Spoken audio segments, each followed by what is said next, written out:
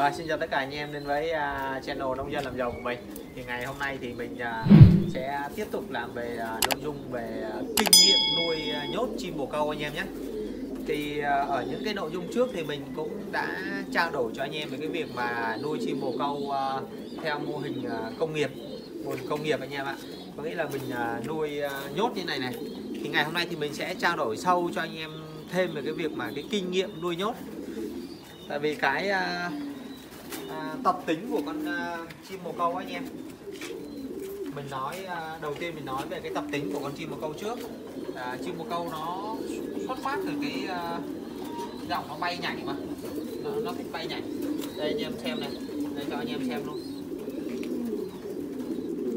Đây là những cặp chim bồ câu đa ràng này.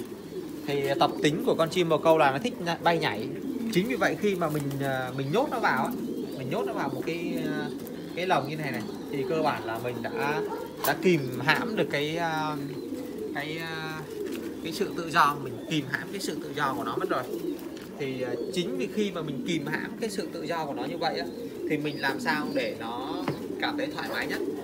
Cảm thấy thoải mái nhất. Và cái kinh nghiệm nuôi nhốt là không phải ai cũng có đâu mọi người ạ. Kinh nghiệm nuôi nhốt chim bồ câu. Tại sao nhiều người uh, uh, nhiều người nuôi chim bồ câu nhiều người uh, nuôi chim bồ câu mà nó thứ nhất là nó không đẻ này nó không đẻ. Cái thứ hai nó hay bổ nhau á nó hay bổ đánh nhau. Và chính vì khi mà nó nó không hợp nhau á, thì nó sẽ uh, đẻ nó không có trứng nó không có cồ nha trứng nó không có trống á. Thì uh, trứng cái độ nở của nó không cao cũng như nó đẻ thưa nữa thì có rất nhiều những cái uh, lý do. Chính vì vậy cái uh, thuật mà nuôi nhốt chim bồ câu á, nó nó sẽ ảnh hưởng đến à, cái việc mình nuôi thành công hơn thành công không rất là nhiều đấy anh em. Thì đây anh em có thể thấy là bây giờ mình à, cho anh em xem một vòng trước này. Ở trại mình nuôi nhốt chim bồ câu thì rất là hiệu quả luôn. Ở dưới cặp bồ câu là đàn rất to này bố mẹ ở trên là bắt đầu đẻ đang bắt đầu đẻ hết. Rất hiệu quả luôn. Thì từ cái à, cái à, cái sự à, hiệu quả của mình thì mình cũng à, à, hy vọng là với những cái kinh nghiệm của mình thì à, mình sẽ truyền đạt được cho anh em. Thứ nhất bây giờ mình trao đổi luôn kinh nghiệm nuôi nhốt chim bồ câu. Thứ nhất là khi mà anh em mà nhốt chim bồ câu á nuôi nhốt chim bồ câu nghĩa là anh em phải phải uh, ghép cặp cho nó đúng không? Anh em phải ghép cặp cho nó. Thì cái thứ nhất là anh em phải phân biệt chống mái nó chính xác phân biệt chống mái nó chính xác anh em nhé. Thì bây giờ mình uh, mình cho anh em xem ở cái lồng này đi ở cái lồng này đi. Anh em phải phân biệt chống mái chính xác 100% anh em nhé. Yeah, thì đây anh em có thể thấy đây là hai con chim bồ câu này. Cái con đang nằm á đó là con uh, con trống anh em nhé. Đấy mình nhìn bằng mắt mình biết liền. Có nhiều anh em uh, nuôi mãi nhưng mà lại không biết phân biệt chống mái là như thế nào ấy đây mình nói luôn. Thứ nhất là con à, chim bồ câu trống thì cái nhân trùng lỗ mũi nó to hơn. Con mái thì nó nhỏ hơn. Anh em đừng có dựa vào kích cỡ của nó nhá. Có khi con à, con mái của nó to hơn cả con trống đấy. Thì đây. Nó đang à, có hai quả trứng kìa. Ở dưới thì thì đa thì đang có con luôn.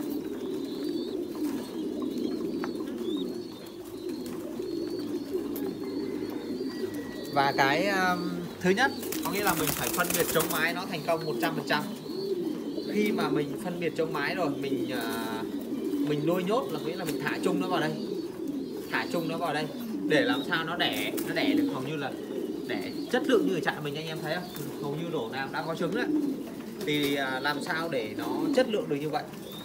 Thì bước tiếp theo từ cái phân biệt chống mái ấy, là mình phải quan sát nó anh em nhé. Mình quan sát khi mà mình thả vào ấy, mình phải quan sát nó xem nó có đánh nhau hay không nhé anh em nếu mà nó đánh nhau á, mặc dù là mình phân biệt chung mái nó đúng rồi đó nhưng mà nó vẫn đánh nhau nên cái xác suất nó có chứ không phải là không. Nhưng mà không nhiều. Thì mình phải làm sao? Mình phải làm sao đối với những con chim nó đánh nhau? Đối với những con nó đánh nhau dữ quá là anh em sẽ có một cái chuồng quần thể. Anh em sẽ làm một cái chuồng bé bé. Anh em thả chung những một số cặp vào đó. Thả khi mà mình thả chung vào đó thì nó sẽ tự lựa tự lựa bạn tình của nó tự lựa bạn đời của nó ở trong những chùm quần thể đó. Và anh em bắt anh em lựa bắt những cặp của nó đã bắt cặp với nhau anh em thả vào đây. Cái đó là chính xác 100% nhé. Cái đó là chuẩn 100% luôn đó. ở trên cái kênh của mình thì ờ, nông dân làm giàu của mình á, thì mình cũng ờ, đã hướng hướng dẫn đã chỉ cho anh em cái cái ờ, cái việc mà à, bắt chim ở trong chuồng quần thể đối với những cái cặp chim mà nó đánh nhau á thì anh em có thể xem thêm ở trên đó. Còn cái kỹ thuật nuôi nhốt tiếp theo á mà anh em cần phải lưu ý đó là với những con chim bồ câu mà nó nó hay mổ lông nó mổ lông uh, con chim non có thể nó mổ lông của con chim trống nữa.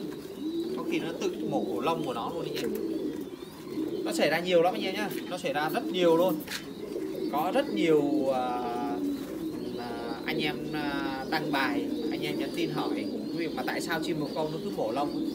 Có những con chim bồ câu ra làng mà bố mẹ nó mổ đến chết luôn anh em nhé. Nó mổ chết mổ chảy máu mổ đỏ nó mổ đến chết luôn. Thì tại sao lại có cái tình trạng như vậy? Có nhiều người thì bảo thiếu khoáng có nhiều người thì bảo thiếu chất này chất kia. Nhưng mà không phải đâu anh em không phải đâu. Tại vì có những con uh, chim bồ câu á cái uh, ở cái mỏ của nó rất là nhọn anh em rất là nhọn nó kiểu là nó uh, Ờ, nó, nó nó mài cái mỏ đi thì nó mổ. Nó mổ những con chim khác. Và anh em có một cái cách mà để ờ, giải quyết cái vấn đề đó. Khi mình nuôi nhốt ấy, là anh em sẽ cầm cái ờ, cái kìm bấm móng tay anh em. Bóng tay mình hay bấm thường xuyên này. Mình, mình bấm cái mỏ nó mình bấm cái mỏ nó mình bấm một ít thôi. Đừng cứ cho anh em đừng có bấm hết. Bấm một ít thôi nha. Là nó sẽ không mổ nữa nha. Anh em cứ thử đi em cứ thử ở những cái cặp nào mà anh em biết đi xem mình nói có đúng hay không nhé. Là anh em bấm một cái là sau nó không nó không mổ nữa. Thì cái việc uh, nuôi nhốt chim bồ câu á, cái uh, cái cuối cùng á là cái uh, chế độ ăn uống của nó nha cái chế độ ăn uống của nó thì anh em phải lưu ý nhé. Khi mà mình nuôi nhốt á nó khác với anh em nuôi thả quần thể nhé. Khi nuôi nhốt là cái chế độ ăn uống của nó là phải chính xác nuôi quần thể thì có thể nó chạy tranh nhau ăn ở trong nó con ăn ăn nhiều con ăn ít. Nhưng mà đôi khi mà anh em nuôi thả như thế này này thì cái chế độ của nó mình thả bao nhiêu nó sẽ ăn bấy nhiêu. Nhiều anh em mua chim bồ câu về chim hay bị chết chim hay bị chết nha anh em. Thì uh, mình phải đi tìm nguyên nhân là tại sao nó chết. Trong khi đó nguồn thức ăn của mình là đạt hiệu quả mà tại sao chim mình vẫn chết? Thì uh, ở trại mình nhá thì uh, mình đã biết được cái việc đó nha đó là chim bồ câu cho chim mình cho chim ăn quá nhiều. Tại vì nhiều người á, họ cứ nghĩ rằng uh, khi mà mình cho chim bồ câu ăn nhiều ấy thì nó sẽ nhanh lớn nó sẽ chăm con tốt hơn nó có nhiều chất dinh dưỡng hơn. Nhưng đó là một cái uh, quan niệm sai lầm anh em nhé. Đó là một quan niệm rất sai lầm đấy. Và mỗi lần ăn á, anh em chỉ cho khoảng một nắm thôi anh em. Khoảng một nắm thôi nhé. Để anh em đừng có bỏ, bỏ đầy uh, thích bỏ bao nhiêu thì bỏ. Vậy là nó không đúng nó ăn nhiều thì nó cái diều của nó nó sẽ bị trướng. Diều của nó sẽ bị trướng. Và đôi khi là nó nó không tiêu hóa được và nó sẽ dẫn đến cái tình trạng đó là trứng bồ diều và nấm diều đó thì nó sẽ bị chết. Anh em cứ ờ, cứ để ý những cái cặp nào mà nó cái diều của nó trướng lên đấy, thì anh em vài một hai ngày anh em không cho nó ăn đó thì nó đôi khi là nó sẽ sẽ tiêu hết được cái cái lượng đó là mình dốc ngược nó lên đó. mình cho nó cho nó cho nó nôn ra cái lượng thức ăn đó thì đó cũng là một cái trong những cái cách chữa nha hoặc là cho nó uống uh, uống tỏi cho nó uống tỏi anh em thì mình sẽ chữa được cái việc đó cái nguồn thức ăn cũng quan trọng lắm anh em nhé. Cái nguồn thức ăn cũng đặc biệt quan trọng luôn. Nên là khi anh em cho ăn thì anh em đừng có cho ăn uh, tham quá. Còn đó là chim bồ câu mà mình nuôi nhốt như thế này nhá. Là chim bồ câu là chuẩn bị đẻ đấy đó. Còn đối với những con mà nó khi mà mình tách ấy, mình mới tách ra thì mình cho ăn như thế nào? Thì uh, cái vấn đề này thì mình sẽ ờ, chia sẻ ở cái uh, clip tiếp theo để cho anh em nắm. Có nghĩa là chim bồ câu mà khi mà mình uh, bố mẹ ra mà mình ờ, lựa chọn nó để làm giống á, thì mình sẽ ờ, ờ, làm như thế nào để có một cái lứa giống tốt. Thì mình sẽ làm cái nội dung này ở, ở cái video tiếp theo. Thì nói nhìn chung là cái kỹ thuật nuôi nhốt chim bồ câu này á, thì đây là mình nhắc lại có một vài những cái yếu tố sau đây. Cái thứ nhất á, là mình phân biệt chống mái thành công 100% nhé. Những cặp nào mà nó đánh nhau thì mình sẽ thả vào nó một cái chuồng quần thể chung. Một số con nó từng bắt cặp. Và mình à, buổi tối thì mình sẽ đi vợt những con đó ra mình bỏ vào đây luôn. Nhưng cái đó là chính xác 100% cái thứ ba đó là chế độ ăn uống. Anh em cho nó ăn ở chế độ buộc một nắng thôi. Như chạy mình là buổi buổi sáng cho ăn một nắng buổi chiều cho ăn một nắng thôi. Cho ăn nhiều quá. Còn à, khi mà đối với những con chim bồ câu nó đang chăm con nhiều á thì anh em cho nó ăn thêm một chút xíu thôi để nó có sức khỏe thì à, nhìn chung là cái kỹ thuật nuôi nhốt- nhốt chim bồ câu thì à, à, có những cái điểm chính. Đó thì mình vừa nói cho anh em thì hy vọng là anh em sẽ à, à, có được những cái cách nuôi nó rất là ok hiệu quả.